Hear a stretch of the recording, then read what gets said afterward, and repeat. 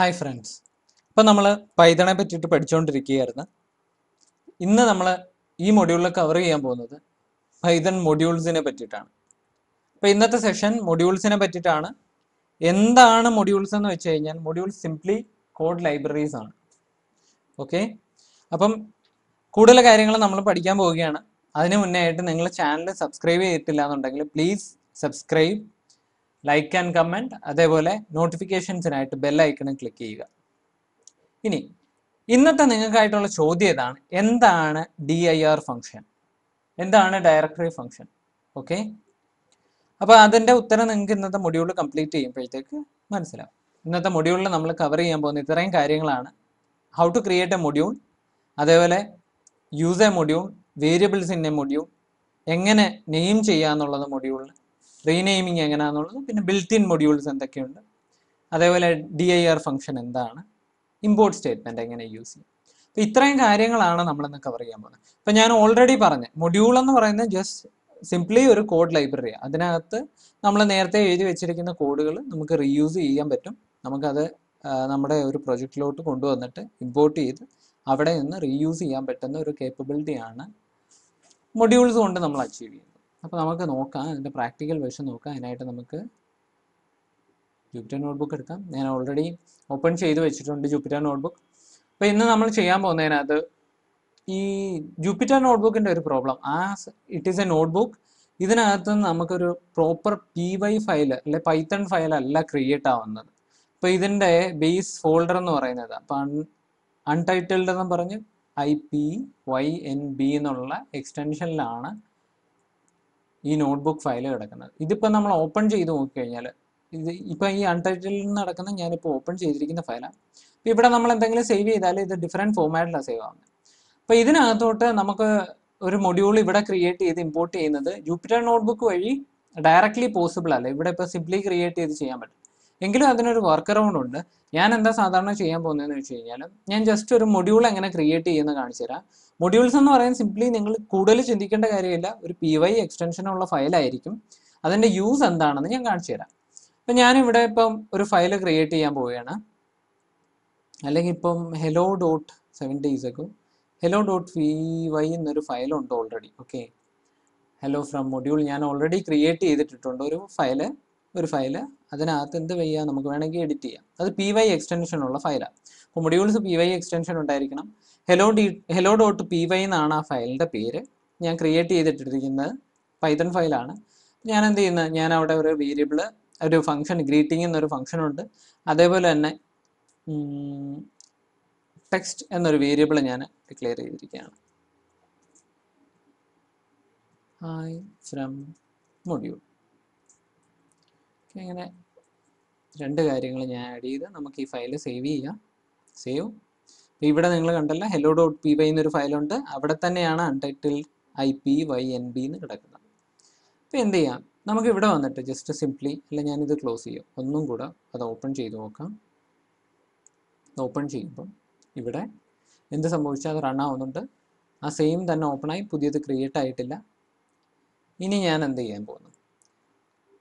ഇങ്ങനെയാണ് ഒരു module create ചെയ്യുന്ന സിംപ്ലി എന്ത് ചെയ്താൽ മതി? ഒരു ഫയൽ ആ ഫയൽ ഇപ്പം നമ്മൾ ഇവിടെ തന്നെ ഫയൽ ക്രിയേറ്റ് ചെയ്യുകയാണെങ്കിൽ new Python text file Python three നോട്ട്ബുക്കിനകത്തുനിന്ന് നമുക്ക് എന്ത് ചെയ്യാം? ഇത് വേണമെങ്കിൽ ഫയൽ സേവ് ആസ് ഇപ്പം ഇവിടെ എന്ത് ചെയ്യാം? ഞാനൊരു ഒരു പേര് കൊടുക്കാൻ പോവുകയാണ്.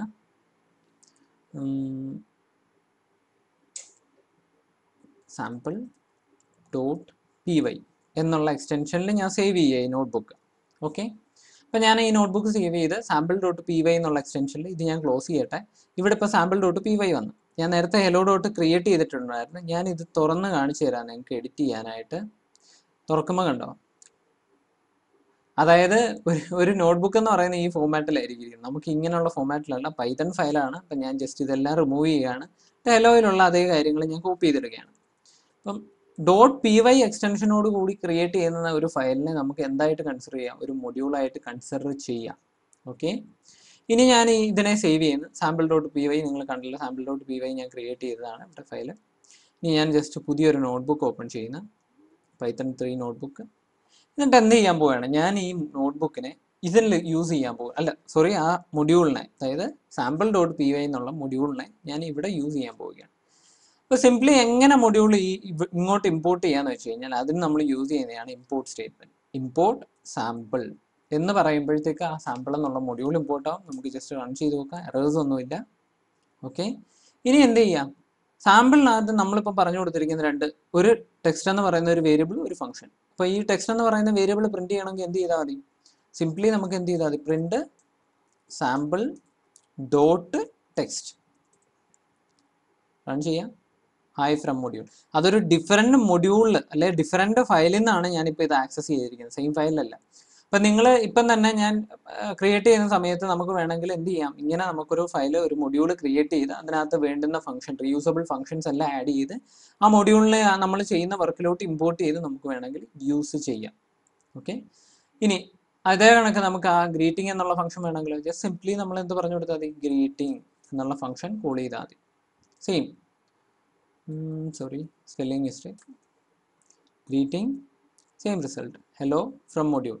ഇവിടെ നൺ വന്നേക്കുന്നതിന്റെ കാര്യം ഞാൻ പ്രിന്റ് ഓൾറെഡി അവിടെ ചെയ്തിട്ടുണ്ട് ഗ്രീറ്റിങ്ങിനകത്ത് അത് എന്ത് ചെയ്യാം? നമുക്കിവിടെ ഒരു ചെറിയ ചേഞ്ചസ് വരുത്താം.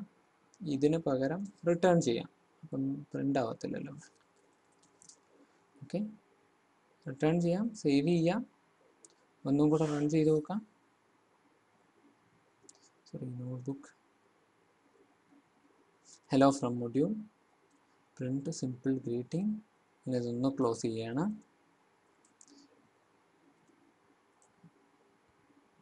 ജസ്റ്റ് ഒരു പുതിയ പൈത്തൺ ത്രീ ഫയൽ ക്രിയേറ്റ് ചെയ്യാം. ഇമ്പോർട്ട് ചെയ്യാം. ആ സെയിം ഫംഗ്ഷൻ റൺ ചെയ്യാം. ഹലോ ഫ്രം മൊഡ്യൂൾ ഈ ജുപ്പിറ്റർ നോട്ട്ബുക്കിന്റെ ചില പ്രോബ്ലംസ് ഇഷ്യൂസ് എന്ന് പറയുന്നത് ഇതൊക്കെയാണ്. നമ്മൾ ഈ റൺ ചെയ്യുന്ന സമയത്ത് ഇതിന്റെ മെമ്മറിയിൽ സ്റ്റോർ ആവുന്ന കാര്യങ്ങൾ അതെന്താ പറയുന്നത്? നമ്മൾ റിമൂവ് ചെയ്യത്തില്ല മെമ്മറിയിൽ ഓക്കെ അതുകൊണ്ട് തന്നെ റിപ്പീറ്റഡ് ആയിട്ട് നമ്മൾ പിന്നെ അതേ വേരിയബിൾ മറ്റെവിടെയെങ്കിലും യൂസ് ചെയ്താൽ ഫംഗ്ഷൻസ് യൂസ് ചെയ്താൽ പഴയ ഡേറ്റ തന്നെ റിട്ടേൺ അടിക്കും. അപ്പോൾ അത് പ്രത്യേകം ശ്രദ്ധിക്കണം. പിന്നെ ജൂപ്പിറ്റർ നോട്ട്ബുക്ക് എന്ന് പറയുന്നത് ബേസിക്കലി നമ്മൾ ഒരു ഫംഗ്ഷണൽ ലെവലിൽ പ്രോഗ്രാം ചെയ്യാനോ അന്നേരം അന്നേരം ക്രിയേറ്റ് ചെയ്ത് എക്സിക്യൂട്ട് ചെയ്യാനോ. ഒരു എന്ത് പറയുന്നത്? ഒരു ആപ്ലിക്കേഷൻ ലെവലിൽ ഒരു ആപ്ലിക്കേഷൻ ക്രിയേറ്റ് ചെയ്യാനോ മറ്റൊന്നിനും യൂസ് ചെയ്യാൻ പറ്റത്തില്ല. ജസ്റ്റ് സിംപ്ലി നമുക്കൊരു പ്രോഗ്രാം റൈറ്റ് ചെയ്ത് റൺ ചെയ്ത് ഔട്ട്പുട്ട് കാണാനും ചെക്ക് ചെയ്യാനും ഒക്കെ പ്രൊവൈഡ് ചെയ്യുന്ന ഒരു നോട്ട്ബുക്ക് വെബ് ബേസ്ഡ് ആയിട്ടുള്ള ഇന്റർപ്രിറ്റർ ആണ് ജൂപ്പിറ്റർ നോട്ട്ബുക്ക് എന്ന് പറയുന്നത്. കൂടുതലും ഡേറ്റാ സയൻസ് ടീമാണ് ഈ ജൂപ്പിറ്റർ നോട്ട്ബുക്ക് ഒക്കെ യൂസ് ചെയ്യുന്നത്. അതിന്റെതായ ഇഷ്യൂസ് ഉണ്ട് കൂടുതൽ കാര്യങ്ങൾ മൊഡ്യൂളിനെ പറ്റിയിട്ടും ഒക്കെ ഞാൻ അല്ലാതെ തന്നെ നിങ്ങൾക്ക് കവർ ചെയ്ത് തരാം. നമ്മൾ ഇനിയുള്ള മൊഡ്യൂൾസിൽ ഇനിയുള്ള കാര്യങ്ങൾ ഇനി ക്ലാസ്സിലൊക്കെ നമ്മൾ അത് പഠിക്കും. അപ്പോൾ ഇപ്പോൾ ഒരു മൊഡ്യൂൾ എങ്ങനെ ക്രിയേറ്റ് ചെയ്യാമെന്ന് നിങ്ങൾ പഠിച്ചല്ലോ. സിംപ്ലി നമ്മൾ ഒരു ഫയൽ ആ ഫയലിന് ഡോട്ട് പി വൈ എക്സ്റ്റൻഷൻ ഉള്ള ഫയലിനെ നമുക്ക് മൊഡ്യൂളായിട്ട് കൺസിഡർ ചെയ്യാം. നമുക്ക് അതിനെ എങ്ങനെ കൊണ്ടുവരാൻ പറ്റും നമ്മൾ ചെയ്യുന്ന പ്രൊജക്റ്റിലോട്ട് ജസ്റ്റ് സിംപ്ലി നമ്മൾ അതിന്റെ നെയിം യൂസ് ചെയ്താൽ മതി. അതിന് ഇമ്പോർട്ട് സ്പേസ് അതിന്റെ നെയിം യൂസ് ചെയ്ത് നമുക്ക് അത് ഇമ്പോർട്ട് ചെയ്യാൻ കൊണ്ടുവരാം. എന്നിട്ട് നമ്മൾ ആക്സസ് ചെയ്യണമെങ്കിലോ? അതേ ഡോട്ട് ആ ഇതിന്റെ നെയിം ഡോട്ട് ഏതാണോ ഫംഗ്ഷൻ അത് യൂസ് ചെയ്യാം. ഇനി ഇൻ കേസ് നിങ്ങൾക്ക് ഈ സാമ്പിളിനെ ഈ മൊഡ്യൂളിൽ മറ്റൊരു പേരുമായിട്ട് യൂസ് ചെയ്യണമെന്നുണ്ടെങ്കിൽ എലിയാസ് നെയിം യൂസ് ചെയ്യാം. അതിനെന്താണ് ചെയ്യേണ്ടതെന്ന് വെച്ചാൽ സാമ്പിൾ എംപോർട്ട് സാമ്പിൾ ആസ് ഇപ്പം എസ് എം എന്ന് ഞാൻ പറഞ്ഞിരിക്കുന്നത് അപ്പോൾ എന്ത് യൂസ് ചെയ്താൽ മതി എനിക്ക്? ഈ സാമ്പിൾ എന്നുള്ള എന്റെ ഫംഗ്ഷൻ യൂസ് ചെയ്ത് S M dot greeting use ചെയ്യാം. സിംപ്ലി സെയിം റെസ്പോൺസ് ആണ് കിട്ടുന്നത്. ഇപ്പോൾ ഈ സാമ്പിൾ എന്ന് പറയുന്നതിന് പകരം എനിക്ക് ആ ഷോർട്ട് ഫോമിൽ എസ് എന്ന് യൂസ് ചെയ്യാം എസ് എം എന്ന് യൂസ് ചെയ്യാം എന്ത് റീനെയിമിങ് വേണമെങ്കിലും നടത്താം. ഇതാണ് ഒരു മൊഡ്യൂളിന്റെ അല്ലെങ്കിൽ ഇമ്പോർട്ട് ചെയ്യുന്ന സമയത്ത് അതിനെ റീനെയിം ചെയ്ത് യൂസ് ചെയ്യുക എന്ന് പറയുന്നത്. ഇങ്ങനെ നമുക്ക് റീനെയിം ചെയ്ത് യൂസ് ചെയ്യാൻ പറ്റും ഒരു മൊഡ്യൂൾ അപ്പോൾ ഇതാണ് നെയിമിങ് മൊഡ്യൂളിന്റെ നെയിമിങ്ങിനകത്ത് മറ്റ് കണ്ടീഷൻസ് ഒന്നുമില്ല നെയിമിങ്ങിനകത്ത് dot P Y dot P Y എന്നുള്ള എക്സ്റ്റൻഷൻ ഉണ്ടായിരിക്കണം എങ്കിൽ മാത്രമേ മൊഡ്യൂളായിട്ട് വർക്ക് ചെയ്യത്തുള്ളൂ. പിന്നെ ഒരു വേരിയബിൾ ഇപ്പോൾ ടെക്സ്റ്റ് എന്നൊരു വേരിയബിൾ ഉണ്ട് സാമ്പിളിനകത്ത് ഞാൻ അത് ആക്സസ് ചെയ്യുന്നത് എങ്ങനെയാണെന്ന് കാണിച്ചെന്ന് ഡോട്ട് ആ മൊഡ്യൂൾ നെയിം ഡോട്ട് ആ വേരിയബിൾ ആക്സസ് ചെയ്യാൻ പറ്റും നമുക്ക്. അതേപോലെ തന്നെ ഇനി പ്രൊട്ടക്റ്റഡ് ആക്സസ് മോഡിഫയേഴ്സ് ഉള്ളതിന്റെ കേസ് ഡിഫറെന്റ് ആണ് കേട്ടോ. അത് പ്രത്യേകിച്ച് ശ്രദ്ധിച്ചോണം നിങ്ങൾ. അപ്പോൾ ഇത് സിംപ്ലി നമുക്ക് ഇങ്ങനെ ആക്സസ് ചെയ്യാൻ പറ്റും. ഓക്കെ ഇനി ഇതിനകത്ത് ഇനി മറ്റൊരു കാര്യം പറഞ്ഞു തരാനുള്ളത് എന്താണെന്ന് വെച്ച് കഴിഞ്ഞാൽ ഇപ്പം ഞാൻ സാമ്പിൾ എന്നൊരു മൊഡ്യൂൾ ക്രിയേറ്റ് ചെയ്തിരിക്കും എന്താണ് ഡി ഐ ആർ ഫംഗ്ഷൻ എന്ന് ഞാൻ ചോദിച്ചിരുന്നു. ഡി ഐ ആർ ഫംഗ്ഷൻ എന്താണെന്ന് അറിയണമെങ്കിൽ ജസ്റ്റ് സിംപ്ലി ഞാൻ എസ് എം എന്ന് പറയുന്നത് ക്രിയേറ്റ് ചെയ്തല്ലോ. D slash sm run. ഇതിനകത്ത് നമ്മൾ ക്രിയേറ്റ് ചെയ്തിരിക്കുന്നതും ബിൽട്ടിനുമായിട്ടുള്ള അത് റിട്ടേൺ ചെയ്യുന്ന എല്ലാ ഫങ്ഷൻസും വേരിയബിൾസും ഇവിടെ ഡിസ്പ്ലേ ആവും. ഇതെല്ലാം ഓട്ടോമാറ്റിക്കായിട്ട് ആഡ് ആഡ് ചെയ്യപ്പെടുന്ന ഫങ്ഷൻസ് ആണ്. അതുകൂടാതെ ഗ്രീറ്റിങ്ങും ടെക്സ്റ്റും നമ്മളായിട്ട് ക്രിയേറ്റ് ചെയ്ത ഫങ്ഷൻസ് ആണ്. ഓക്കെ അപ്പം ഈ ഗ്രീറ്റിങ്ങും ടെക്സ്റ്റും ഗ്രീറ്റിംഗ് എന്ന് പറയുന്നത് അവിടെ ഒരു ഫംഗ്ഷനും ടെക്സ്റ്റ് എന്ന് പറയുന്ന വേരിയബിളും ആണ്. ഇപ്പം നമ്മളത് ഇവിടെ ക്രിയേറ്റ് ചെയ്തിട്ടുണ്ട്. ക്രിയേറ്റിംഗ് എന്ന് പറയുന്ന ഒരു ഫംഗ്ഷൻ ടെക്സ്റ്റ് എന്ന് പറയുന്ന ഒരു ഗ്രൂപ്പ് ഇപ്പോൾ D A R function use ചെയ്യുന്നതെന്ന് വെച്ച് കഴിഞ്ഞാൽ നമുക്കൊരു പെർട്ടിക്കുലർ മൊഡ്യൂളിനകത്ത് കണ്ടന്റ് എന്തൊക്കെ കാര്യങ്ങൾ ഫംഗ്ഷൻ ഫംഗ്ഷണൽ ലെവലിൽ എന്തൊക്കെ കാര്യങ്ങൾ ആക്സസബിൾ ആയിട്ട് ഡിക്ലെയർ ചെയ്തിട്ടുണ്ടെന്നുള്ളതാണ് ഇതിനകത്ത് മെൻഷൻ ചെയ്യുന്നത്. Okay wait sorry S M dot name sample കണ്ടോ നമുക്ക് അതിനകത്തുള്ള ഫങ്ഷൻസ് യൂസ് ചെയ്യാൻ പറ്റും. ഇപ്പോൾ ഗ്രീറ്റിംഗ് ഗ്രീറ്റിംഗ് നിങ്ങൾക്ക് ഓൾറെഡി അറിയാം. ഗ്രീറ്റിംഗ് എന്നുള്ള ഫംഗ്ഷൻ യൂസ് ചെയ്യുന്നു. അങ്ങനെ അതിന് അങ്ങനെയാണ് അതാണ് എന്തെന്ന് പറയുന്നത്? ഡി ഐ ആർ എന്ന് പറയുന്ന ഫംഗ്ഷന്റെ യൂസ് എന്ന് പറയുന്നത് നമുക്ക് ആ മൊഡ്യൂൾസിനകത്തുള്ള കണ്ടന്റ് എന്താണെന്ന് തിരിച്ചറിയാൻ പറ്റും. ഫംഗ്ഷൻസും വേരിയബിൾസും എന്തൊക്കെ ഡിഫൈൻ ചെയ്തിട്ടുണ്ടെന്ന് വ്യക്തമായിട്ട് അറിയാൻ പറ്റും. അപ്പം ആ ചോദ്യത്തിനുള്ള ഉത്തരം നിങ്ങൾക്ക് കിട്ടിയല്ലോ. ഇനി അടുത്ത ഒരു കാര്യം എന്ന് വെച്ച് കഴിഞ്ഞാൽ ഇപ്പം ഞാൻ ഒരു മൊഡ്യൂൾ നമ്മളായിട്ട് ക്രിയേറ്റ് ചെയ്ത ഒരു മൊഡ്യൂൾ എങ്ങനെ ക്രിയേറ്റ് ചെയ്യണം അതെങ്ങനെ ഇമ്പോർട്ട് ചെയ്യണം അത് റീനെയിം ചെയ്യുന്നതൊക്കെ ഞാൻ കാണിച്ചത്.